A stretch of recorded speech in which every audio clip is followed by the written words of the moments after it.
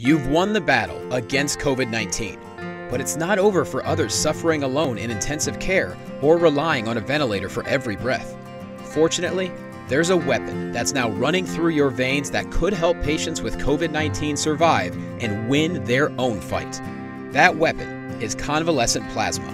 Your plasma transfused into patients in need.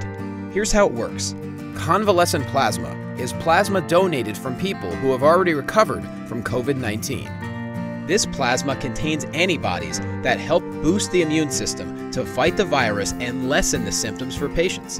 Current research suggests that the earlier convalescent plasma is received in treatment, the higher the chance of recovery. You can provide hope and help others recover and reunite with their families by taking part in this simple treatment. If you've defeated the virus, are 14 days symptom free, and have a positive COVID 19 test, you may be an eligible donor. First, call your local blood center or register online to donate.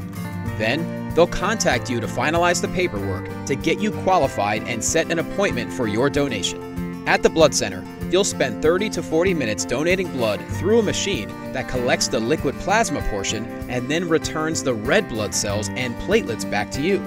The whole process takes about 90 minutes. 90 minutes that could give someone else a fighting chance against COVID 19. You've won the fight, and your donation could help others win it too.